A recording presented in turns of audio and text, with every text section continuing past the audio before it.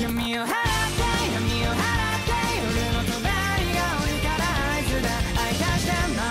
Hola, soy Bash y hola amigos, bienvenidos una vez más a nuestro canal. Y bueno, el día de hoy, como ya es costumbre en el canal, les traigo la review del capítulo 160 del manga de Jujutsu Kaisen. Y así es, en esta ocasión por fin nos adentramos en el mundo de las colonias y las misiones que tendrán cada uno de los personajes principales. La verdad es que el pasado del juez estuvo interesante, pero yo ya quería ver a Itadori y los demás preparándose para la batalla. Y sí, como lo mencioné en el capítulo pasado, se dividieron en equipos, aunque no los que yo pensaba exactamente, pero aún así se están preparando grandes peleas. Además de un comentario que me llamó muchísimo la atención por parte de Kenyaku, pero ya estaremos comentando todo a lo largo del video. Y ahora sí, sin nada más por añadir, comencemos de una vez. Y el capítulo 160 está titulado Colonia, obviamente haciendo referencia a que este será el cuadrilátero de nuestros protagonistas para que logren conseguir su objetivo, dejándonos en claro que este es el ring que se convertirá en una zona de guerra. Pero bueno, ya comenzando con el episodio, en primera instancia vemos a Kenyaku, el cual está hablando con Sasaki. Para aquellos que no recuerden quién es, ella apareció en el primer episodio de Jujutsu Kaisen, siendo uno de los miembros del club de ocultismo al que pertenecía Itadori. De esta forma se nos relata qué es lo que está ocurriendo con aquellos que no son participantes directos de los Juegos del Hambre, pero que se vieron atrapados debido a las colonias. De esta forma, Kenyaku le explica a Sasaki la guerra brutal que se llevará a cabo dentro de las mismas, además de que Sasaki pregunta si podría no hacerlo en su casa, pero Kenyaku nos menciona que la barrera tiene entre 5 o 6 kilómetros de radio, por lo que no es tan fácil crearlas o moverlas, así que no puede cumplir esta petición. Por otro lado, sí le da una opción diciendo que si ella lo desea estará fuera de la barrera cuando despierte, comentando que actualmente se encuentra en la grieta entre los sueños y la realidad, siendo esto una maldición y extendiéndole la mano a Sasaki. Ella obviamente acepta la oferta ya que no se iba a quedar en una batalla a muerte, por lo que observamos como Kenyaku se la lleva. Mientras al parecer ella percibe solo oscuridad, después se nos deja ver lo que realmente está ocurriendo ya dentro de las colonias al observar una gran cantidad de maldiciones, sobre todo la que más resalta es una gigante y algunas personas también se encuentran ahí, muy probablemente siendo los participantes en activo de estos juegos del hambre. De esta manera cuando Kenyaku estaba a punto de sacar a Sasaki menciona una de las palabras más interesantes del episodio, ya que dice que casi lo olvida, pero que le agradece por llevarse bien con su hijo. Obviamente, como todos sabemos, se está refiriendo al mismísimo Itadori. Y bueno, a pesar de que esto es algo que ya podíamos suponer, esta es una confirmación directa de que realmente la mamá de Itadori fue portadora de Kenyaku y de esta manera ella se embarazó para tener a Itadori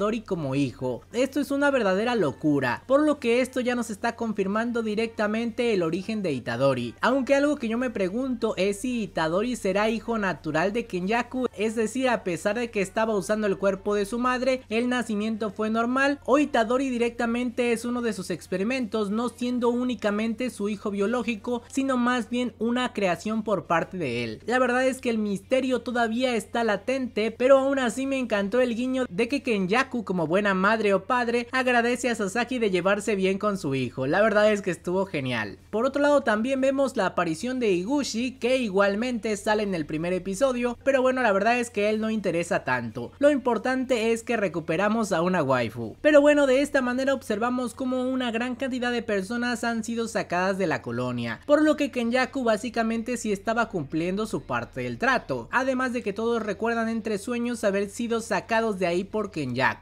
aunque al parecer a la única que le agradece realmente el cuidado de Itadori es a Sasaki. Lo que me sorprende mucho es que a Iguchi al parecer no le dijo nada de agradecimiento por llevarse con Itadori, siendo que él también pertenecía al club de ocultismo, por lo que puede ser que Sasaki todavía esté ocultando algo, y tal vez fue enviada por el mismo Kenyaku a vigilar a Itadori, no lo sé, pero esto me llama la atención. Pero bueno, ahora sí, cambiando de tema, pasamos con Itadori y los demás, observando el plan que tienen para encontrar a sus objetivos. De esta manera se percatan que Ángel no se encuentra en el registro de Kogane, lo cual claramente nos dice que este no es su nombre real, aunque recuerdan que Tengen les había dicho que se encontraba en la colonia número 2. Además de que a pesar de que no conozcan su apariencia, se les mencionó que la reconocerían al instante, y la verdad es que es obvio ya que sí parece un ángel. De esta forma, Hakari nos explica la división de los equipos, ya que él y Panda se van a dirigir a Tokio número 2, mientras que Megumi e Itadori se van a dirigir al número 1, además de que Kirara se quedará esperando afuera de la barrera. De esta forma explica que la razón de esta división de equipo es que al parecer Kashimo sería el más fuerte, por lo que obviamente el que se encargará de enfrentarlo será el propio Hakari. La verdad es que me encanta la confianza de este personaje y Kashimo contra Hakari es un versus que sí o sí se me antoja ver, aunque podría haber alguna modificación al respecto ya que el verdadero objetivo de Kashimo es su cuna y tal vez decida cambiar de colonia de alguna manera para buscar a Itadori, pero aún así la situación es muy interesante. Por otro lado la razón por la que Panda va a Tokio número 2 es para buscar a Ángel, ya que gracias a su olfato él tendrá mayores posibilidades de encontrarla, y bueno honestamente creo que esto está muy bien pensado. Por otro lado la razón de que Kirara se quede afuera de las barreras es que al parecer no han podido comunicarse con Yuta, dejando entrever de esta forma que los teléfonos no funcionan una vez que entras a la barrera, por lo que se va a necesitar alguien que se encuentre en la parte externa. Y bueno, por último, Megumi e Itadori se enfrentarán al juez o ese será su principal objetivo, aunque Itadori está un tanto preocupado ya que prefiere no estar junto a Megumi sabiendo que Sukuna tiene planes para él. A pesar de esto, a Megumi no le importa y dice que deje de estar molestando ya que de cualquier forma deben cumplir con su objetivo, causando un conflicto entre ambos. Y honestamente a pesar de que Megumi no lo quiere aceptar, la verdad es que yo también separaría a